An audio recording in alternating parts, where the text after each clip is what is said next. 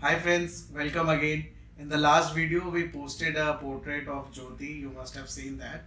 And this is a video regarding one of your queries is that uh, by washing the fabric painting it fades away or not. So today I will wash a fabric and will show you how to wash it. Let's start. This is the painting. This is a bucket. I have added the soap in it. I'm just soaking it the water for 15 minutes now. So it's been 15 minutes now. And this is the painting. And this is not the first time I am washing this fabric. My mother was wearing this for past 6 months. And this is the painting.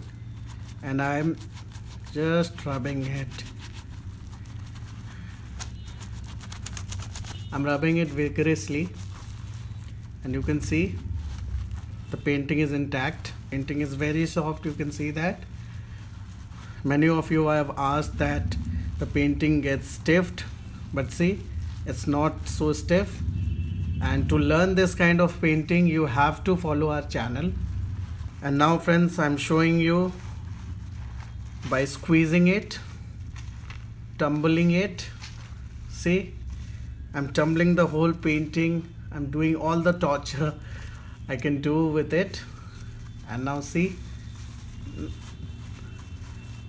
the painting is exactly as it was